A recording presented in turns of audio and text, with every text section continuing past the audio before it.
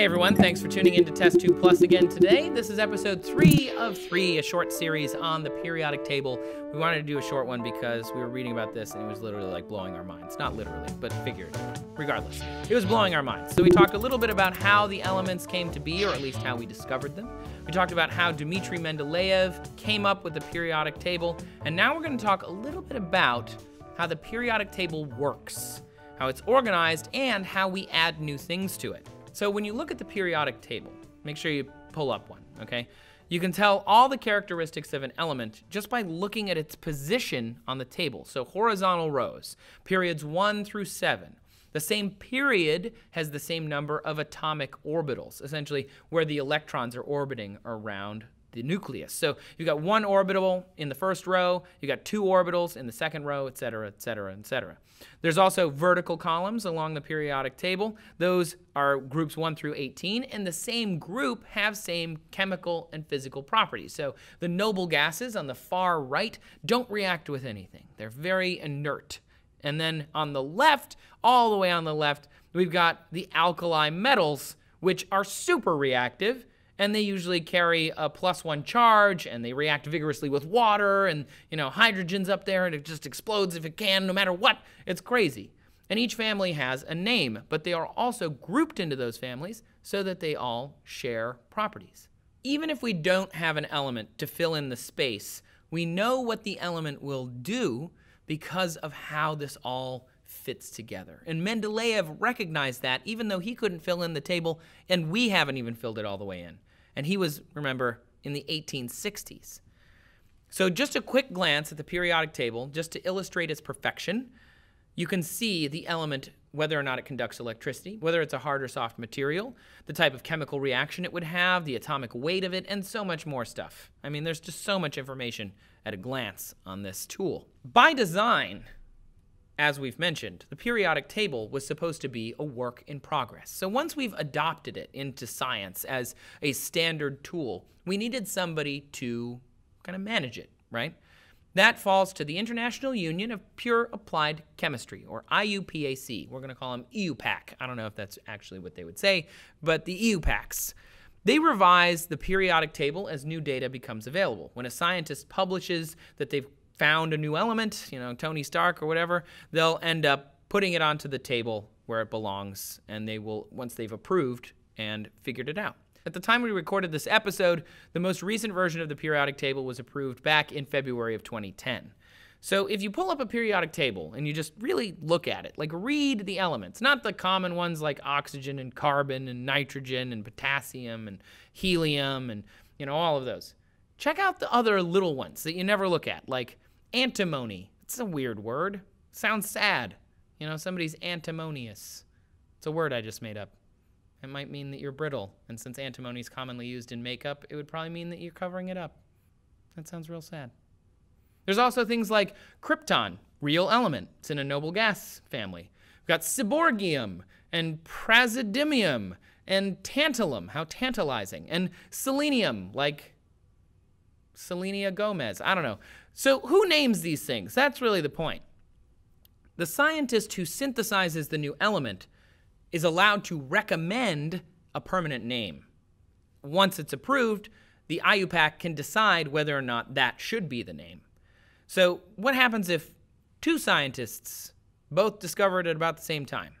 Well, the IUPAC has had the responsibility of naming elements since 1947 and doesn't, you know, hurry when it comes to figuring this out. They'd rather take their time. So it can take years to verify that an element is going to get a name that you suggested. Until they're verified, the IUPAC recommends scientists use a naming convention when discussing an element. So the associate director of IUPAC, Dr. Fabienne Meyers, explains the current naming process like this, and this is a quote. Since the sake of naming an element is essentially to avoid confusion, it is important to ensure that the proposed name is unique and has not been used earlier, even unofficially or temporarily, for a different element. So that means because they're scientists and because it's some kind of, you know, overarching bureaucracy, they got to do the most boring element name ever. So they use the digits of the atomic number assigned to a Latin root to name new elements while they're waiting to get the fun name. So, for element 115, for example, which was discovered by both Russian and American scientists in early 2004, the temporary name is ununpentium. For 113, it's ununtrium. And the idea there is un for one, pent for five, and ium because it's an element. So they're all iums. So ununpentium. Boring. The naming convention was first published in 1990, and the idea was if we're not fighting it out, we can all agree that the element has this name, and then we can all move on while we wait to see what the fun name is going to be. However, there are some disagreements. It's like the nerdiest fights you will ever see, and it always happens in paper. You know, people are writing a paper and they're writing a letter and they're like, it should be called this because of this great person that we've decided to name. You know, element 41 was not agreed upon for 150 years because in America we called it columbium and in Europe they called it niobium. The IUPAC decided officially to name it niobium in 1949. Whatever. There's also, though, the transfermium elements, which are super heavy elements with atomic numbers over 100. And for decades, Russians, Americans, and Germans were all fighting out who discovered which elements and when.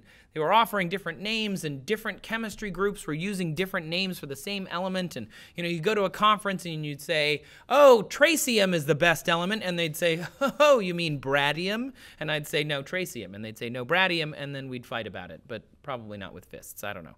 I'm not a scientist. So, element 104 in American labs actually had this happen. It was called Rutherfordium after a New Zealand physicist, Ernest Rutherford. But in Russian labs, it was called Kurchatovium after Soviet physicist Igor Kurchatov.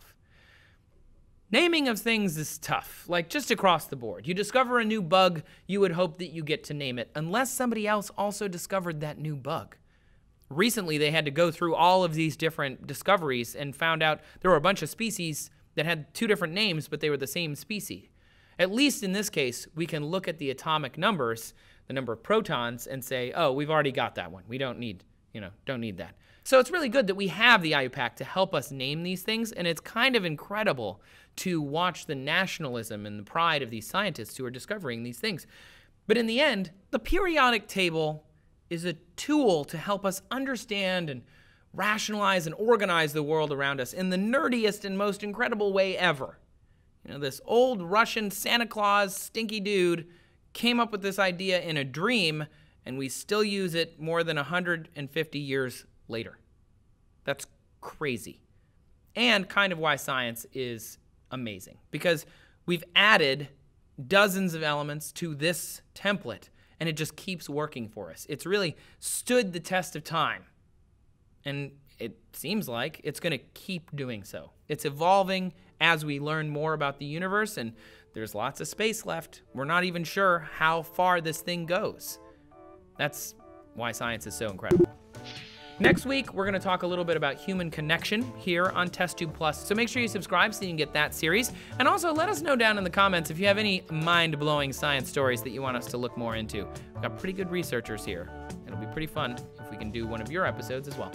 So thanks for watching. I'm Trace. Come find me on Twitter if you want to talk. I'm at Trace Dominguez. And we'll see you next time on TestTube Plus.